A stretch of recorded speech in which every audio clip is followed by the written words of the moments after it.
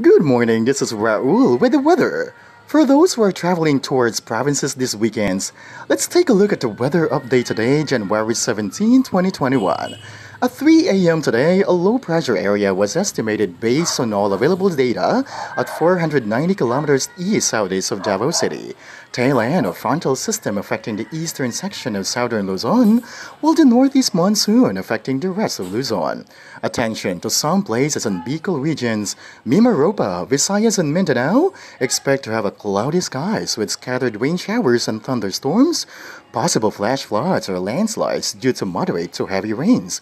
But what about in Luzon? Well, due to a northeast monsoon or hanging amihan, Metro Manila and the rest of Luzon will have a partly cloudy to cloudy skies with isolated light rains. So if you're getting ready for shopping or mountain climbing, don't leave your home without your umbrella. Keep calm and enjoy the weekend. And that's it for today's